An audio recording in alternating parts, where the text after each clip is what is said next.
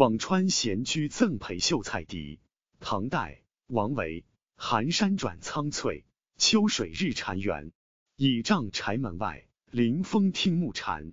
渡头余落日，墟里上孤烟。复值皆余醉，狂歌五柳前。译文：寒山转变得格外郁郁苍苍，秋水日日舒缓地流向远方。我驻帐伫立在茅舍的门外，迎风细听着拉木蝉的吟唱。渡头那边太阳快要落山了，村子里的炊烟一缕缕飘散。又碰到裴迪这个嗟余酒醉，在恰如陶前的我面前欧狂。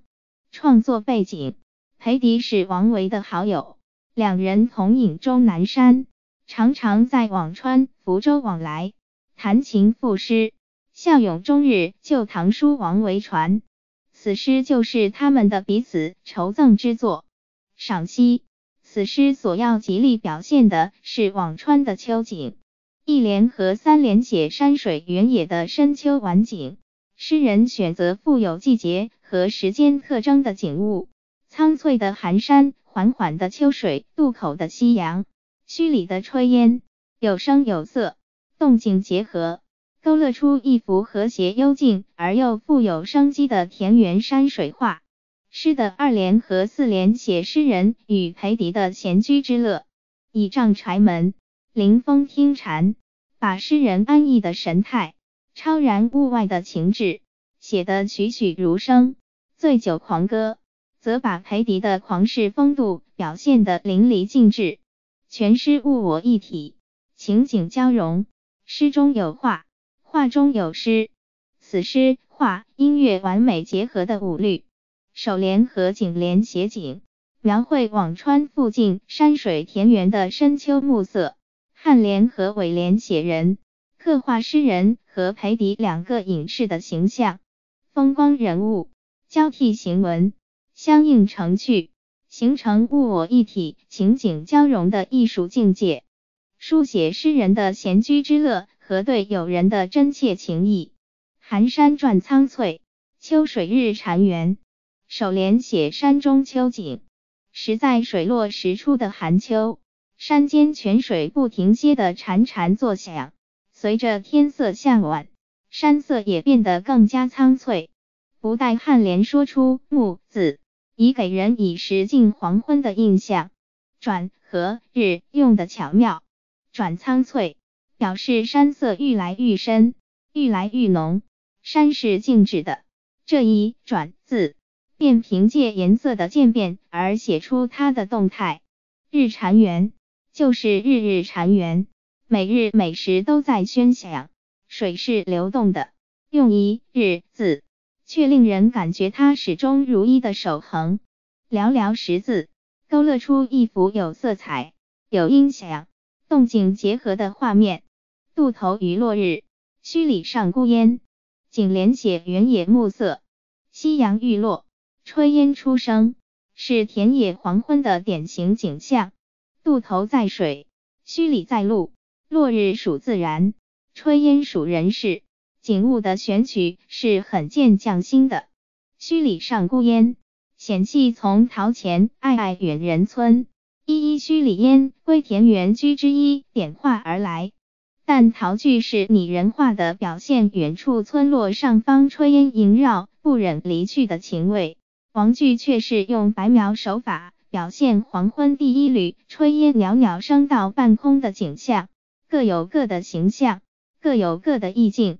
这一联是王维修辞的名句，历来被人称道。